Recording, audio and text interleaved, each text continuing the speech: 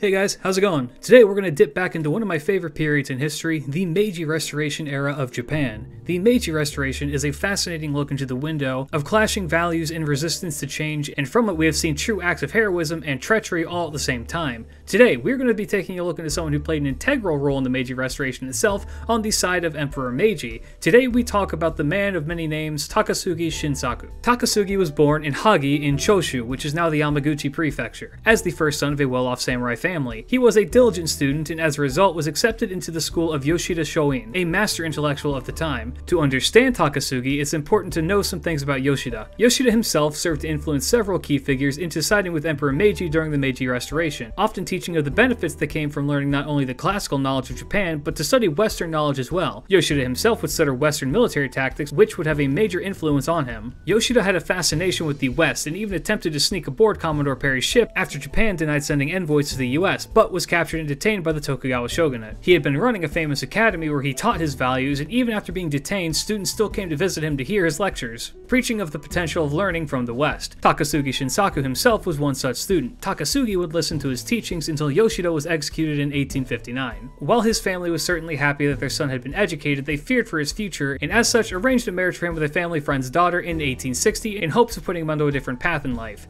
However, just a year later, Takasugi would depart to join a naval training program in Edo. Later that same year, he would travel Japan studying the ideologies of various other scholars. During this time, Takasugi would be a strong advocate for Japan to remain isolationist, and as such was sent to Shanghai, China to view how westernization had impacted. What he saw was that Western imperialism had had a significant influence over the Chinese and returned to Japan with a message that Japan needed to strengthen itself in order to avoid meeting a similar fate. One such way that he devised to do this was to create a new form of military. During the rule of the Tokugawa shogunate, only the samurai class was allowed to take up arms for military purposes.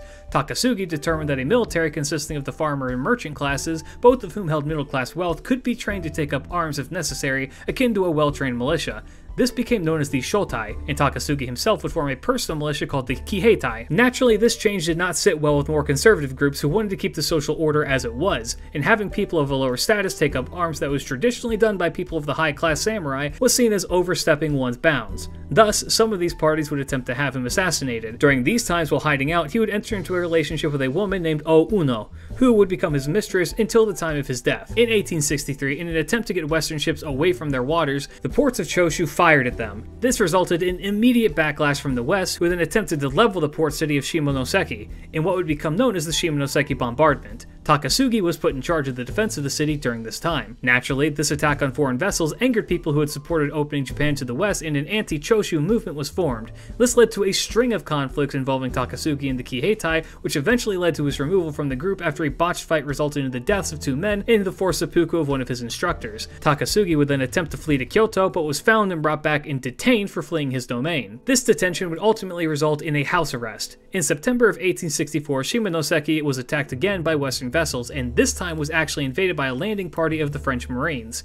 The French rampaged essentially unhindered through the city due to the superior technology and strategy, highlighting the weaknesses and antiquated nature of the current Japanese military. This seemed to terrify Takasugi. What he had seen happen in China was now happening in his home, and he went to the leaders of Choshu and pleaded that they perform some form of military reform. What came of this was Choshu forgiving Takasugi of his previous crimes and appointing him to become the head of the peace negotiations with the four Western countries that were attacking them. These countries were the French, Dutch, British, and Americans. Takasugi, at the age of only 25, saw this as an opportunity. It had become abundantly clear that a direct assault on Western forces would never work. So instead, he would put to use what he had learned from Yoshida and begin to embrace and attempt to learn the military strategy and technologies that the West had in hopes of using them to bolster the Japanese military. This is when Takasugi came to a realization. Takasugi Shinsaku was a member of the Sonno Joi, a group that I've talked about in the past whose ultimate goal was to expel foreigners from Japan and revere the emperor who at the time was Emperor Meiji. It was the Tokugawa Bakufu who had allowed foreigners into Japan. As such, the fastest way to expel the foreigners from Japan was to remove the largest obstacle in the way of that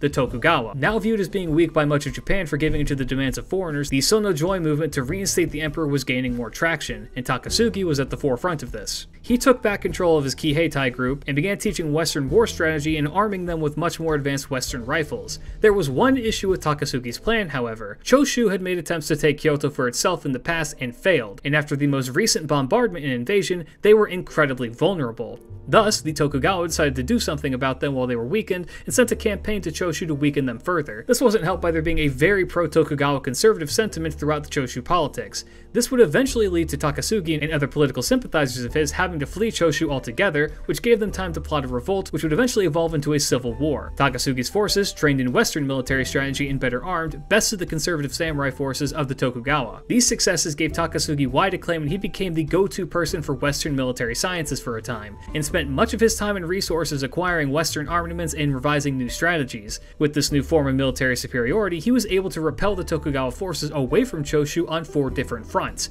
Effectively, Takasugi Shinsaku had converted Choshu into a modern-day Sparta, with military might able to hit well above its weight class because they were better armed and better trained. Because of these strings of constant victories over the Tokugawa forces, people began to lose faith in the Tokugawa's ability to rule Japan, which continued as a domino effect leading to the shogunate dissolving and the reinstating of Emperor Meiji, thus fulfilling the first part of Takasugi's plan. Takasugi, however, would not be there to see this happen. Takasugi had tuberculosis, which in October of 1866 flared up heavily and he became bedridden, where he was cared for by his mistress O Uno. He would succumb to his tuberculosis on the 17th of May 1867. Only a year later, the Tokugawa shogunate collapsed, the fruits of his work fulfilled, though the second part of his plan of expelling the barbarians would never come to fruition. Thus was the life of Takasugi Shinsaku. He is remembered today as being one of the people who wrenched open the door of modernization to Japan. Had it not been for his efforts in showing the importance of adapting and learning learning new strategies, the future of Japan becomes significantly more unclear. Had he not paved the road for modernization of the military, it is very likely that another country who decided to modernize would have swept in and simply taken Japan for itself. Today, he is most famous in the town of his birth, Hagi, but is still remembered nationally as a key figure in the Meiji Restoration. If he could accomplish all of this by the age of 27 or 28, you have the potential to do something revolutionary with your life as well. But that's it! Takasugi Shinsaku in the books. Thank you guys so much for watching, I really do appreciate it. Let me know what you thought down in the comments. If there's someone who you want me to cover in the future, please let me know down there as well. Like the video if you found any of this interesting, subscribe to keep up to date with all the things I'm doing on the channel, check the links down below for the Discord, Twitch, and Twitter, but for now guys, keep your chin up, peace.